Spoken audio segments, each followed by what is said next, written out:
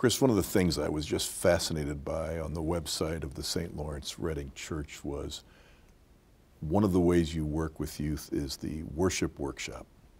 Uh, it just sounded like a, a, brilliant way to take their native love of music and begin to bridge it into sacred music. But I'm only imagining what it is. So, yeah. so give me a little idea well, of I, what the yeah. frame of it is, how what it looks like on the day they gather, and, and what your ultimate aspirations are. So this came from an yeah. who had come to faith from a non-church background, came to faith when she was 15, um, uh, through the church and got to 18 and said, look, I, I really want to be involved in, she'd started in one of the worship bands, but she said, there's loads of young people who want to be involved.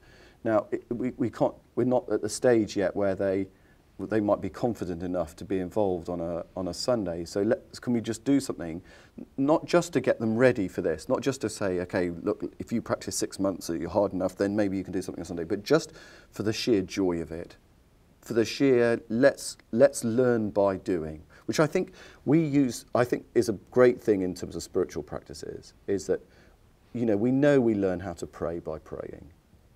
We know the best way of learning to hear God in Scripture is by hearing God in Scripture. We, we know the a way to learn how to be a worshipper is, is by worshipping. And so there was that, come and join in this. And so on Friday nights, uh, Lois, who is now 20, um, and some other adults in the church give up their Friday nights and I think every two weeks and gather any young person who wants to come along to, to come and they, take, they, they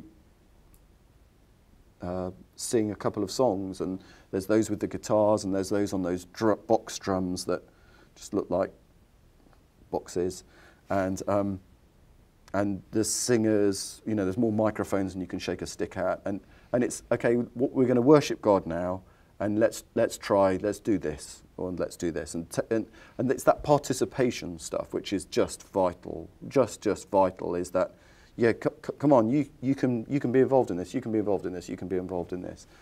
Um, which has been a, a, a, great, a great point of grafting in. For, so for some of them, someone like a Tommy, who's 15 now, you know, his, his way in was just play, playing, the, playing the drum, tapping away on the drum alongside three or four other people. Because the other thing is, it's a great way for adults coming alongside these young people going, oh, look, I know you know four guitar chords, and I know that serves you well with most Christian music. However, here's another one. Here's number five, and mm. then you can play everything. That so there's that kind of stuff, which is a lovely way around doing things, which is a way of connecting people with each other.